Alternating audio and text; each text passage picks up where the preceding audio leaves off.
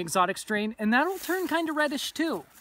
So it's a little different color of red, and it's not nearly as much of the stem, and it's not as obvious. But if if you're the sort of person that is looking at a field guide and you're like, well, is there any reddishness? And then you look at it, if you're looking for red, you sometimes can find it in the exotic strain. So that's why that's not one of the best traits. So, but that leaf sheath, um, and again, later in the season is when that really starts to break down and makes the difference much more obvious.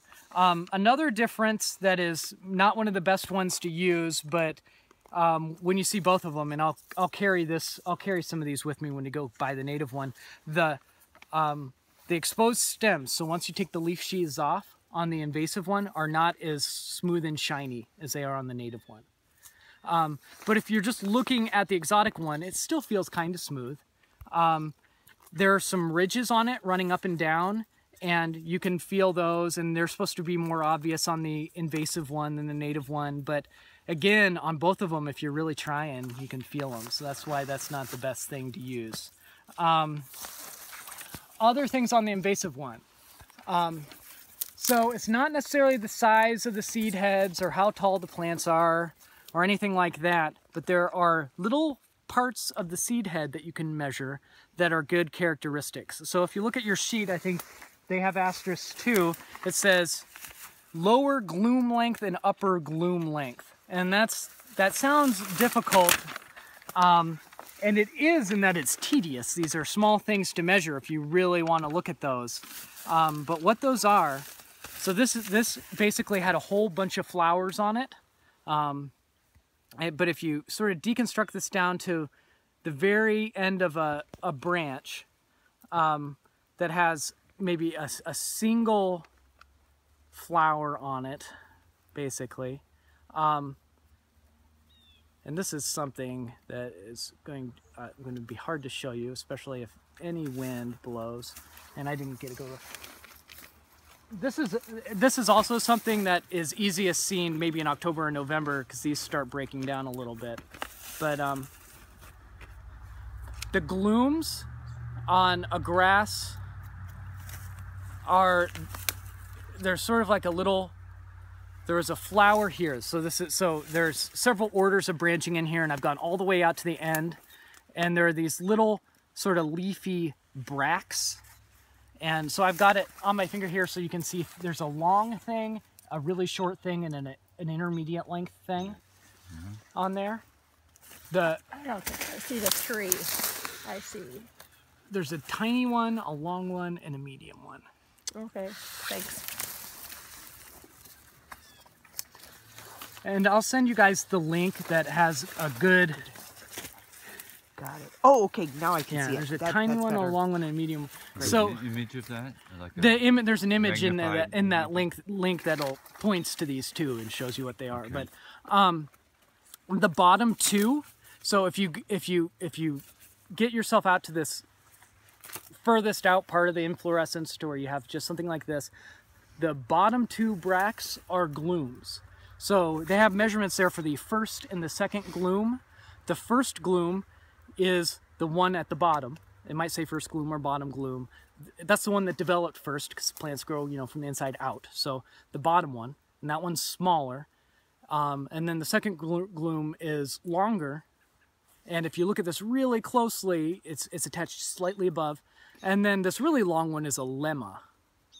Um, and that's in between the glumes and you can ignore that you can pull that thing out and just not worry about it or whatever um, but it's critical that you don't accidentally measure the lemma because that's long and it can throw you off. But if you measure those those glumes they're usually a pretty good um, distinguisher. And I would actually recommend measuring several but I'm going to take out my hand lens. I have a little um, ruler taped to it. And I'm just gonna kind of do this crudely. But, um, and you need millimeters for this sheet, but the, the, um, that first little tiny glume is a little over two millimeters long here. Which is less than that. And then that uh, second glume is about four and a half millimeters long. Okay, so on the on the on the native one, the lower glumes on the native one are almost always more than four. This was two and a half. On the introduced one, they're almost always less than four. It's two and a half. So that, that lower glume is consistent with the non-native, the invasive one. The upper glume on the native one is almost always greater than six. Um, they have the full range there. So you might see as low as 5.5, but most of them will be more than six. This is why we also usually will measure more than one. Um, on the introduced one, they're mostly less than six. This is four and a half. Okay, so the uh, lower glume and the upper glume are consistent with the introduced one. So is that leaf sheath. Okay, so we can be pretty confident about this. We've looked at three of three really good characters. And I would recommend, so of the things that have asterisks here, um, try to get at least two looked at and ideally three. So, but we can also look at the stem density in here. Um, this is really dense. Sure, there are a few other plants that can grow in here, but this is very dense. When we see the native stuff, especially when we see some bigger patches of it, you'll see the difference.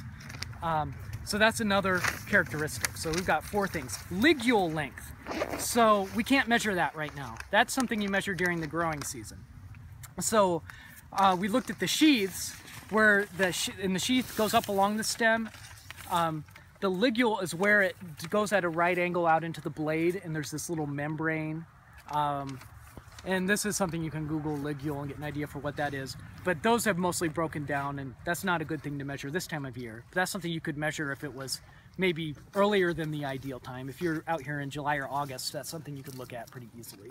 Um, so at that time of year, you might look at ligule length and, and look at the sheaths or something. Um, or if the flower heads haven't developed yet, you want those to be fully developed before you're measuring anything. But, okay, so this is exotic Phragmites. So this is bad, and this is a bad location for it, obviously, because it's at the headwaters up here. And all the fuzzy stuff, um, those are actually attached to the seeds, and the seeds are blown by the wind. Um, and so they have, and they'll stick to us a little bit, so brush yourselves off. Um, so yeah, um, having seen this, now we're gonna walk around and there are a couple spots where we'll go by a little bit of the native stuff, um, but we'll go a little further and we'll be able to see it and look at it closely, but um, the patches are small. You, when we go further, you'll see some bigger patches of it and be able to compare them to this sort of density. Um, but this would be hard to walk through. Just keep that in mind. So Paul, you've been from here down to the spring, you didn't see any of the native Um, well, I don't, I can't Or, I say for sure sorry, there's yeah. no native mixed in here. anyway. On the other side, that's exotic. I looked on the other side yesterday. What you're seeing straight across there, that's Right. exotic too. Um, and yeah, a lot of times the, the exotic one looks more robust and just has a different look to it. But man, uh, look at characteristics because that there can always be a site that has that's nutrient poor or rich that can make them look funny. And do you know of any occurrences of the native that did become a little over aggressive and you know because some of our native plants sure they get aggressive and I would I mean? Uh, I would say in a relatively undisturbed wetland that's unlikely to happen. Um, in a place that's had disturbance and other natives have been eliminated, it might grow really densely. Um, but that's less a problem of the Phragmites than it is of the disturbance, you know. Um, right I just wanted, oh, another characteristic. Um, and we'll see it some on the native. This isn't, this is, so on the native one, um, there are, sometimes there are really distinct black dots and that's a fungus that you only see on the native one, but you don't always see it. So if you see it there, that's something you can use. On the exotic one, sometimes you'll see black patches of mildew, which are not the same thing. So I'm gonna take this with us in case we find some black dots.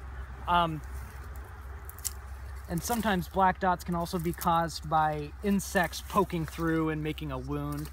Um, So that's still the exotic, even though it has the black spots. yeah, because these are not really. Might not be We'll see fungus. if we can find them on the native. We'll be able to put them Really next to each other. Yeah, okay. If I can great. get this. Yeah, see, see if I can get a picture of this real quick for my purposes. So you're distinguishing black dots from mildew, and the black dots well, are, are these are really sort of irregular black dots, and they're from mildew. On the native one, there are really distinct black dots sometimes. Oh, I'm not on macro. Caused by insects poking through? Um, well, they're caused by a fungus on the native one. Fungus. You can. There's another cause of spots though that aren't that are sort of irregular, and those can be from insects that have, you know, stuck mouth parts through and made an injury. Okay.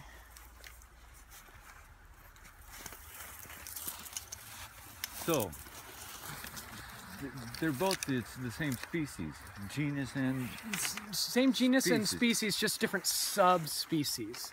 Okay. And uh, so it's a species that's distributed really broadly. There's another subspecies that grows on the Gulf Coast, but they're g- genet- they'd been genetically isolated for a long time and they're distinct and have different traits. Um, and even though they're the same species and just subspecies, um, yeah, it seems that hybrids even are rare. And it's, the experts that have observed the one or two rare instances of a hybrid, which is all that has been documented in the country. So that's how the, rare they are, um, at least when they've done genetic tests. Um, not even they're not even sure that the hybrids are fertile. The hybrids might be sterile. If you got a hybrid, it could still make a clone that causes a problem, but it it's not going to spread by seed.